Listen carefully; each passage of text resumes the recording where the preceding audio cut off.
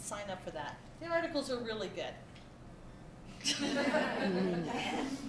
See, if I do say so myself. And you know what I'm doing for you, especially those of you in business? I am modeling for you. Because when you don't promote you, who's going to?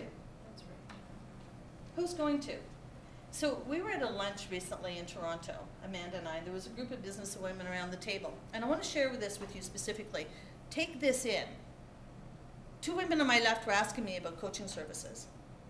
And I was going, Amanda was on my right, I believe, and I was going into a bit of depth with him. Why do you ask? What do you need? What are you looking for? Et cetera, et cetera. I want to be really clear because I'm not the right coach for everybody. I'm not. Some people probably couldn't handle it. Me.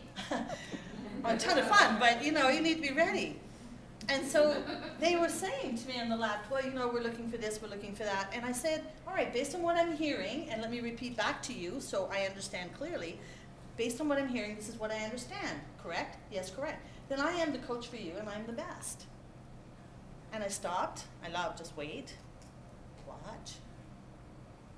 And they said to me, ooh, that's pretty forward. And I'm going, yes. Would you prefer I say, maybe I could help you? Exactly. Why don't you pay me the big bucks and maybe, maybe you'll get some results? How would that feel? I don't think so. So when you're doing what you're doing, whether it's a mom, a wife, a stepmother, a sales rep, a project manager, I don't care. You be the best that you can be and you bring it. You bring it. I am not a great designer. I'm not a good decorator. I'm not a great image consultant. I'm not. I am one of the best mindset coaches that you'll ever find. I know that. Cool. You do what you do and tell the world. You must not keep your gifts to yourself. We all have gifts. How many of you ever break bake brownies?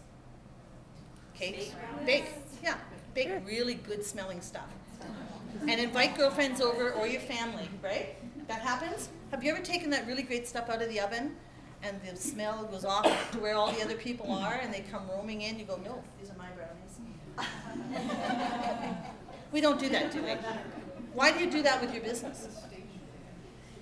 Why do you do that with your business? I've heard so many women say, well, I don't want to be too pushy, oh, I don't want to bother them.